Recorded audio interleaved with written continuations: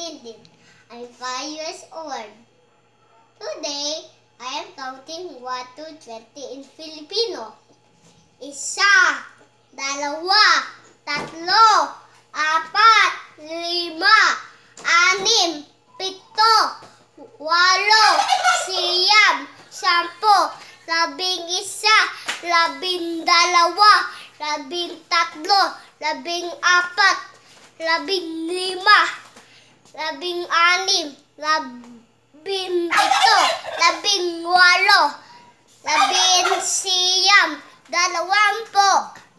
Bye! Don't forget to click the button to subscribe.